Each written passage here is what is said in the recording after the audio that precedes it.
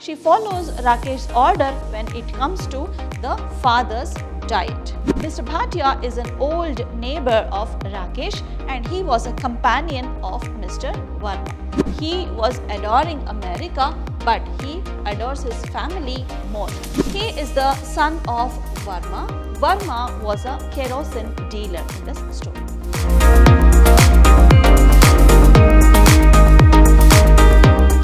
Hello everyone, I am Dr. Shalini, Professor of English, Vidhyaashram First Grade College, the Temple of Excellence, Mysore. Today we are here to understand one of the lessons prescribed by University of Mysore for 2nd SEM BCA. Today we are going to understand a devoted son written by Anita Desai.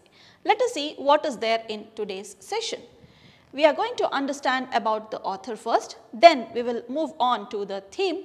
We will understand the characters that are there in the story. Later we will move on to the summary of the story. Let us begin with the introduction of the author. She is Anita Desai who was a great Indian novelist. She was born Anita Mazumdar but later she changed her name to Anita Desai. She was the Emerita John E. Burchard Professor of Humanities at the Massachusetts University of Technology. That has been a great honor on uh, Anita Desai. She as a writer has been shortlisted for Booker Prize thrice, though she did not win one. She is on the advisory board of this Lalit Kala Academy and also a fellow of the Royal Society of Literature in London. That was a very short introduction of the author. Let us see what is the theme of this story. The story shows how parents put in their hard efforts and they cherish the ambition towards their children. What I could not become, my child should become is what the parents think and how a son will fulfill the dreams of his parents is the theme of this story. This story captures the contemporary Indian life during that time. So, let us see what which are the characters that are there in this story. So, the first character is Rakesh and Rakesh is the protagonist of the story. He is the son of Verma. Verma was a kerosene dealer in this story. So, this uh, Rakesh was very well behaved, he was very dutiful son. What is dutiful or duteous? He was very obedient you can say. So, he was a very well behaved student and also he was a very brilliant student who goes and becomes a doctor. He has an opportunity to continue his practice in the US but he does not do so. He was patriotic, he wanted to come back to India and he wanted to make a difference in the society. So, he takes up a job in uh, India itself. So, he supervises every bit of food that was served to his father at a later stage of this story. So, he medicates him for every small complaint. So, whatever small complaint his father had, all that was addressed by Rakesh, that is Dr. Rakesh. The next character comes is Veena. Veena is actually a minor character. She was a simple fat Indian girl that is a typical Indian woman you can consider. She was the wife of Rakesh and she was married by wish of his mother. So, Rakesh's mother wanted him to marry this Veena and as per her wish, as per her will he marries Veena. She was very loyal and also dutiful by nature. She was like Rakesh only very loyal to the family as well as her husband. She follows Rakesh's order when it comes to the father's diet. So, she was she used to follow everything all the instructions properly. So, this is the second character Veena which is a minor character. Next we move on to Mr. Verma. Who is Verma? Verma was an oil seller at a depot and he was the father of Rakesh. He puts hard efforts to educate his son and he is proud of his son's achievement. Later considers his son as a tyrant. Who is a tyrant? A person who behaves like a dictator is called as a tyrant. So, he considers his son like that only because his son Uh, he supervises all the complete diet that was given to his father when his father was losing on his health. So, this is Mr. Verma. He is also a major character in the story. Next comes Bhatia. Mr. Bhatia is an old neighbor of Rakesh and he was a companion of Mr. Verma. He participates in Rakesh's family conversation. Mr. Bhatia just comes and participates in his uh, family conversation and also the activities. Somebody who is very well versed with the family, who is very close to the family you can consider. So, that was Mr. Bhatia. Mr. Bhatia used to live next door and he joins Verma to sit outside his house, have a conversation in the evenings and also complain about Rakesh's treatment towards his father and he used to complain about how badly he is treated. So, they used to sit and complain about the hardships that they were facing. So, this was the discussion between them that was going on. So, that was Mr. Bhatia. Then we have Rakesh's children.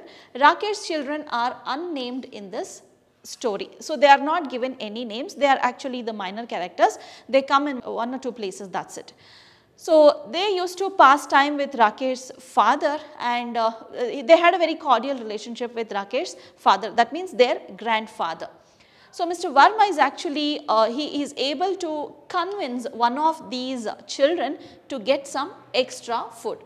So, Varma was not allowed to have extra food and sweets kind, uh, kind of stuff whenever he uh, was not feeling well. That is uh, Rakesh, uh, oh, I told you Rakesh supervised the diet that was given to Mr. Varma. But he used to convince one of his grandchildren and he used to get some extra food. So, this is an introduction of characters that are there in this story. Now, we will move on to the summary. This is a very easy story, easy reading. That is what Anita Desai is famous for. Once you start reading the story, it will just take you to the end of the story like a cakewalk. It is very easy for you to understand her uh, language. So, this is one such story. This story revolves around a boy or a man you can consider that is Dr. Rakesh. So, Rakesh who goes to become Dr. Rakesh and how he treats back his uh, parents. So, that is the actual theme of this story. So, he was uh, from a poor Indian family. So, you understand what is uh, a poor Indian family or what is an Indian village boy, uh, what does an Indian village boy mean. So, he was finding it very difficult for them to afford for a uh, high class school. So, that kind of a family he used to come from. Uh, his father Mr. Verma was working as an oil vendor in one of the depots nearby. So, this was the family of Rakesh and Mr. Verma had a wife. Okay. So, this was the family there and Rakesh was the first person in the family to attend college. So, there are many families in India like this wherein there is only one person who has stepped into college and whatever degree they achieve even with a lesser percentage they are very proud of it because that is the only person who has completed a uh, graduation or maybe a post graduation kind of thing. So, this family also one such family wherein Rakesh the only person in the family uh, he had entered the college he had completed also. So, he completed his medical exams with the highest marks. So, he has got the highest scores uh, all over India. He was the topper there. So, he got good marks and he had cleared the medical exam. So, Varma informs everybody about his son's achievement. So, whoever asked about his son, he used to tell about his son's achievement. Whoever came and asked about Rakesh, he used to tell them about his achievement in medical exams. He used to tell them, talk to them about his grades. So, he was very famous. So, he also told them that uh, his son Rakesh would be going to America to pursue his studies uh, very soon. Many of them uh, scared him also uh, telling that he might forget his roots. Maybe uh, they were uh, afraid. So, uh, like they told uh, this one Varma that if, if suppose you allow him to go out of India, he will forget his roots, he will not come back to India. So, that is not the way you have to treat a son. Do not send him, he will forget the parents also. So, all these things they tell him. But Varma is determined to send his son to America for higher studies. Yes, even uh, Rakesh had decided to go to higher studies, get a degree and come back to India and he wanted to do some kind of service to the society. He wanted to bring a change in the society. So, though many of them uh, scared Varma about Rakesh forgetting his roots. Varma was not scared at all. He was able to send his son to America for higher studies. So Rakesh spends considerable time in America. He does very well, he fares well and he completes his degree also. So, he has completed his medical degree in America also. Though uh, he gets offer, job offers from major hospitals that is in US, he does not uh, accept that. Okay, so initially he does not accept that, but later there were many awards that were given to Rakesh and they were returned that is sent to his family to preserve. So whatever awards he used to get there because of his higher grades and the offers that you, he got from these US hospitals, he used to send it to India for to their to his parents to preserve that. So now he is full with uh, offers in the US. Now he was adoring America but he adores his family more. So, he intends to return home soon. Now, what he does, he has considerable amount of offers, job offers at the US hospitals, uh, very uh, leading hospitals. So, what he does, he takes up a job, initially he does not agree, but later on he takes up a job, he gets good experience and then he wants to return home. So, since he adores his family more, he is planning to come back to India and he wanted to stay with his family. So, he gets a good exposure, he gets a good experience in those hospitals, then he shifts back to India. Here he marries a local girl with little schooling but his father was against it. His father always used to say you must have high dreams. You must have very high dreams that means your level should be something high not like coming back to roots. Don't behave like a village person you have to have high roots. Is it it's okay even if you leave us here and go to America with your wife but the wife should be somebody who has who is well educated or uh, she has to be supportive in your uh, profession. But um, Rakesh doesn't believe in all those, he feels the lady who has a less schooling will be obedient and will be loyal. So, that is the reason he according to his mother's wish marries a local girl called Veena. So, she was also very supportive in his job. She does everything loyally and dutifully. So, that was about the marriage with that girl. Then he works, he starts working in a city hospital. Now he has resigned for his job in the US and he comes back to a city hospital. So he is working in India now, he works in a city hospital. So the environment was totally different from that of the US hospitals. This was totally opposite. The cleanliness, the systematic way of working in the US hospitals, it's actually completely different over here in the Uh, in Indian hospitals. So here is what he thinks that he wants to make a difference in his community. He wanted to contribute something to the society.